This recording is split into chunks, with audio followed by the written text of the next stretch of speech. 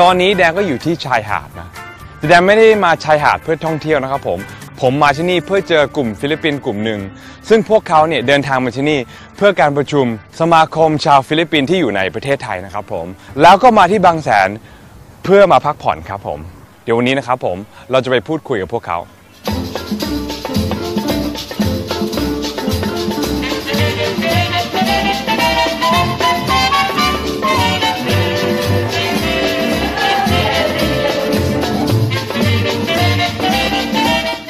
ชุมเจอละ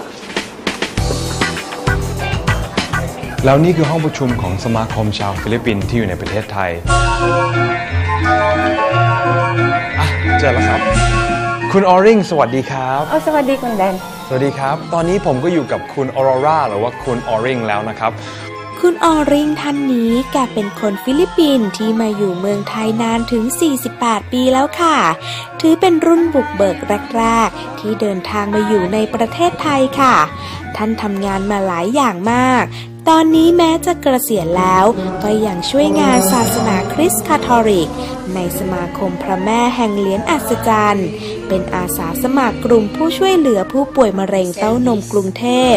ช่วยงานสมาคมโบลิ่ง DBL ของนักการทูตในประเทศไทย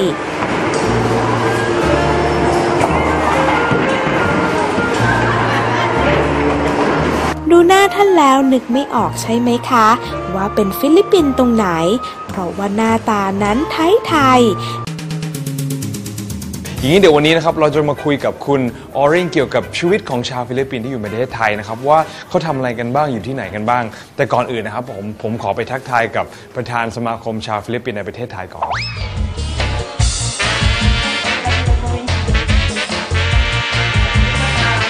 ท่านผู้ชมครับ ตอนนี้ผมก็อยู่กับคุณเอฟเฟรนแล้วนะครับเอ่อเพราะว่าคุณเอฟเฟรนเนี่ยเขาเป็นชาวฟิลิปปินส์นะครับจะถนัดภาษาอังกฤษมากกว่า เดี๋ยววันนี้การพูดคุยกันเนี่ยจะเป็นภาษาอังกฤษนะครับเอ่อ Efren very nice to meet you Yeah, nice to meet you. Too, um, the meeting today it was very very heated what was Yeah. the topic of conversation today yeah. yeah, in fact, uh, a lot of topics has been discussed, Uh-huh. and uh, mainly is uh, to discuss our uh, activities or the events Mm-hmm. that uh, AFT would like to, to do in the next uh, uh, coming months Okay. Mm-hmm. or year or so. We we have started recently. Uh-huh. Uh, we do it uh, through English camps. Yeah, to uh, uh, less fortunate uh, Thai students from uh, Matayum and uh, Pathum. help them uh, go to school Yeah, that's right. We, we teach uh, English Oh, through excellent. English camps. Okay. So we started with, uh, uh, I should say, at uh, what uh, Siliram okay what's in, in uh, Chonburi. okay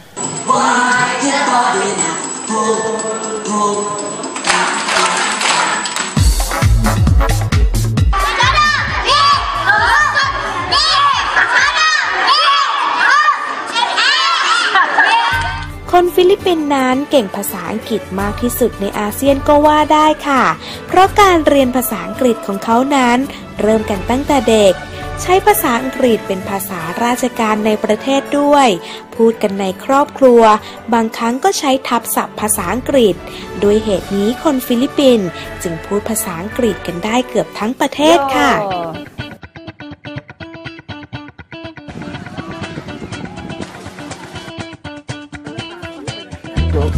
Sa simoy at sa langit mong bughaw, may bilang ang tulak at awit sa malawat niyang pagmamahal.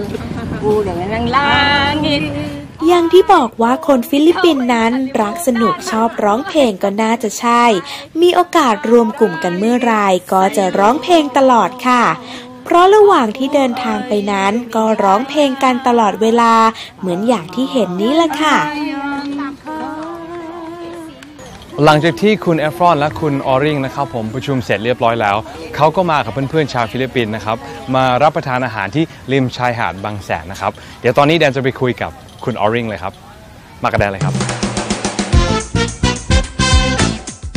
What what what happened or what made you come to Thailand in the first place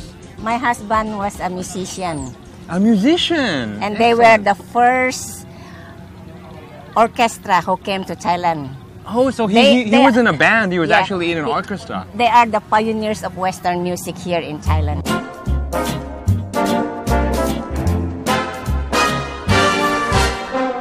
During the Vietnam War, Uh huh.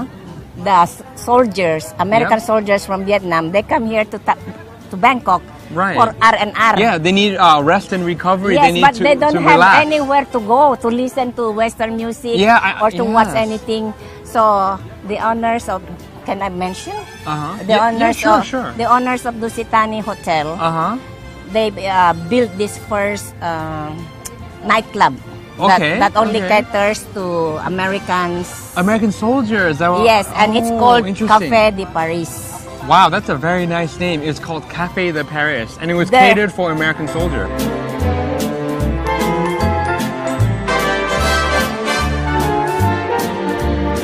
How about yourself? Are, are you a musician as well? Can you sing or do you enjoy singing? I enjoy singing. Uh huh. I sing in the choir. You sing in a choir? Yeah, and before I met my husband, I sing shortly in a band. Oh, okay. But when I met my husband, he don't want me to sing with anybody but him. Oh, that's very sweet. What is it about um, Filipinos and singing? Why does it go hand in hand so well together? It's our inborn trait. Uh-huh. It is inborn in our hearts Uh huh. Because we love to have fun. Uh huh. And now we are granted, uh, we were given good voice. And the talent Mm-hmm. Amazing for, voices, actually. and uh, also for uh, the love of dancing. Uh-huh. So every time we get together, we have fun, we sing, we Uh-huh. dance, we joke.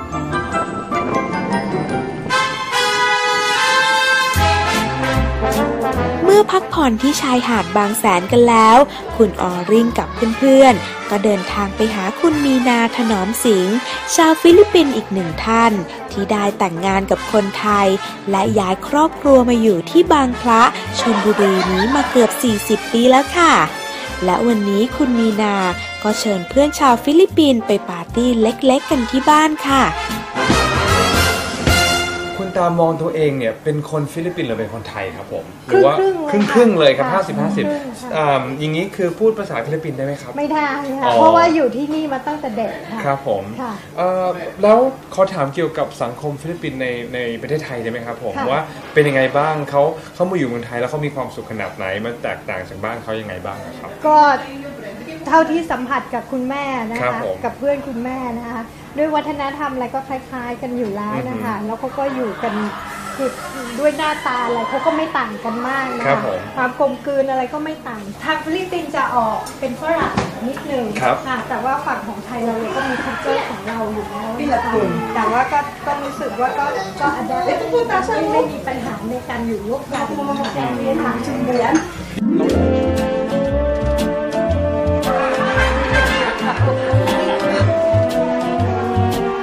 หลังจากที่ได้คุยกับคุณเอฟเฟรนและคุณออริงนะครับผมก็ได้ทราบว่าคนฟิลิปปินส์เนี่ยมาประเทศไทยเพื่อมาทำงานนะครับผมแล้วงานส่วนมากเนี่ยก็จะเป็นงานที่เกี่ยวกับดนตรี หรือว่างานอะไรก็ได้ที่ต้องใช้ภาษาอังกฤษนะครับผมเพราะว่าคนฟิลิปปินส์เนี่ยชำนาญภาษาอังกฤษมากเลยเอ่อนิสัยใจคอของคนฟิลิปปินส์เหรอครับก็ใกล้ๆกับคนไทยครับผมเป็นคนที่นิสัยใจคอดี แล้วก็รักสนุกครับ เราจะตามไปที่บ้านคุณออริงที่กรุงเทพ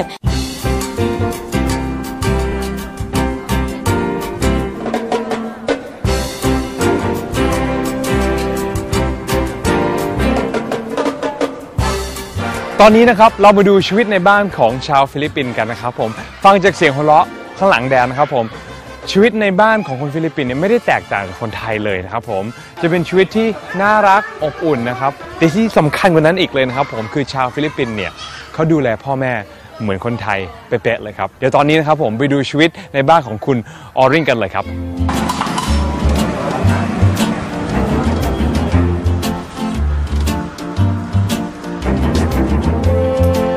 โอ้เน็กมาแล้วล่ะก้าเชิญค่ะแถวนั้นที่บ้าน เชิญ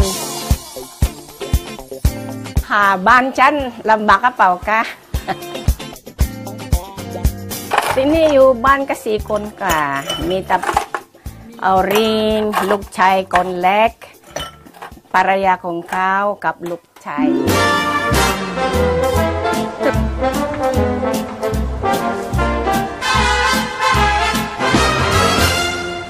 คือคนคนฟิลิปปินส์ที่เข้ามาอยู่ในเมืองไทยเนี่ยอาจจะเป็นเพราะว่าเขาจะทำงานกันเป็นแหล่งๆทั่ว ๆ ไป เพราะนั้นเขาก็จะอยู่ที่ใกล้ๆกับที่ทำงาน เพราะฉะนั้นจะไม่มีแหล่งเหมือนคนจีนคนอินเดีย ที่ว่าจะอยู่จะอยู่ย่านเดียวกัน แต่ว่าทั่วไปอยู่สีลมบ้างมีสุขุมวิทมีแถวรามคำแหงก็ก็จะมีกลุ่มเล็ก ๆ แทบจะดูไม่ออก จนกว่าเขาเขาจะพูดและสำเนียงเขาจะจะฟ้อง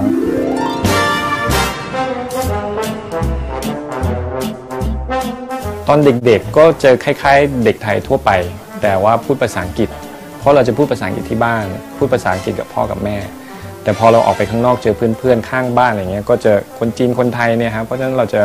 เราจะฝึกภาษาไทยนอกบ้าน สมัยก่อนบ้านอยู่แถวสีลมย่านซอยละลายซับ แถวนั้นเงียบมากวันหยุดก็จะแบบวิ่งเล่นกันเท้าเปล่า ขึ้นลงถนนสีลม ขี่จักรยาน เล่นซ่อนแอบปกติเหมือนเด็กไทยปกติ จริง ๆ แล้วอย่างอย่างตัวผมเองเชื่อว่าหลาย ๆ คนที่เป็นรุ่นสองเนี่ยจะคือภูมิใจฮะว่าว่ามีเชื้อชาติฟิลิปปินส์แต่ว่าก็ก็ภูมิใจที่เป็นคนไทยเหมือนกัน อย่างอย่างเราดูเอเชียนเกมส์ตอนเนี้ยเราเชียร์เชียร์ไทย ไม่เชียร์ฟิลิปปินส์คุณแม่โกรธ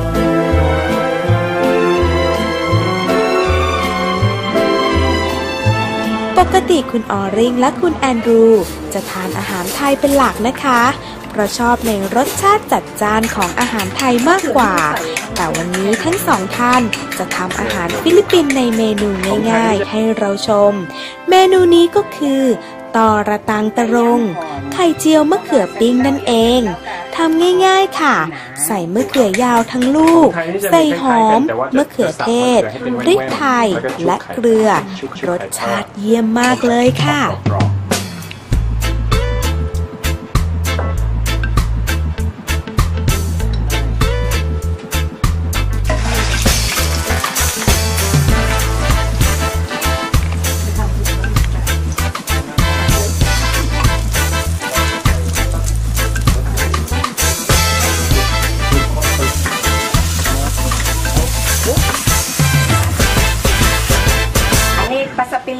ฟิลิปปินส์ก็เรียก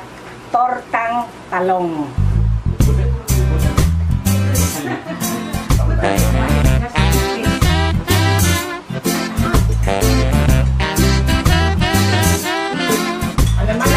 อ่าคนฟิลิปปินส์จะเป็นคนที่ค่อนข้างจะเคร่งศาสนา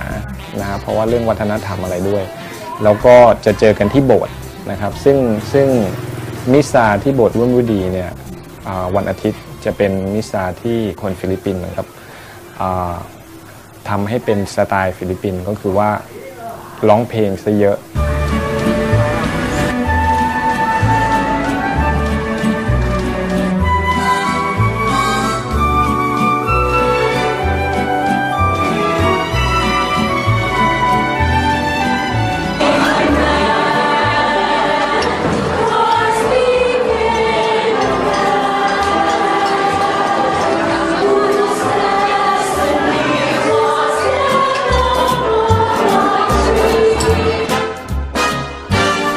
าที่ผมได้ยินมานะครับ ทุกปีก็ชาวฟิลิปปินส์มาจากทั่วกรุงเทพจะมาร่วมกันที่นี้ เพื่อเฉลิมฉลองแม่พระแห่งเปญาฟรานเซียและที่วัดนี้นะครับเป็นที่ประดิษฐานก็มีกลุ่มเล็กๆ ของชาวฟิลิปปินส์ที่อยู่รอบวัดศรัทธาต่อพระแม่ อาจจะร่วมกันทุกวันเสาร์สวดสายพระคำนะครับ ไปโยนโบลิ่งค่ะไปยังไหม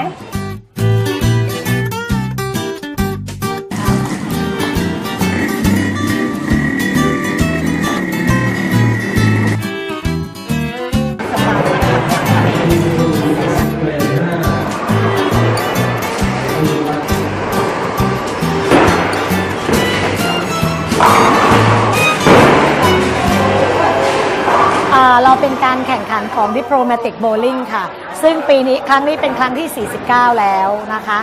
เริ่มต้นเราก็มาจากการที่ชมรมของสถานทูตรวมตัวกันมาเล่น แต่เมื่อเวลาผ่านไปหลาย ๆ ท่านก็กลับประเทศหรือว่าไปประจำประเทศอื่น ตอนนี้ส่วนใหญ่ก็จะเหลือคนไทยฟิลิปปินส์ที่เล่นกันนะคะ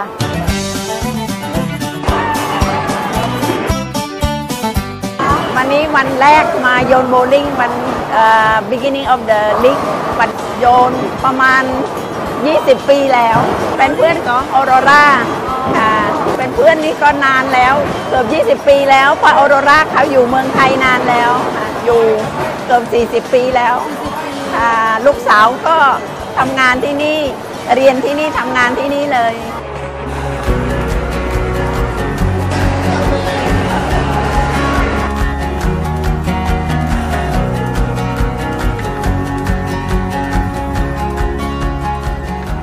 ประเทศไทยเนี่ยได้ต้อนรับชาวต่างชาติอย่างอบอุ่นมาหลายสิบปีเลยนะครับ แล้ววันนี้ผมก็ได้คุยกับชาวฟิลิปปินส์ที่อยู่เมืองไทยหลายสิบปีเหมือนกันนะครับ แล้วพวกนั้นนะครับเขาก็ได้อยู่อย่างมีความสุขจริง ๆ เลย ปีหน้าเนี่ยอาเซียนเปิดเสรีแล้ว ผมมั่นใจเลยนะครับ ว่าคนไทยเนี่ยจะอยู่กับเพื่อนบ้านอาเซียนได้อย่างเข้าใจกันดีเลยครับ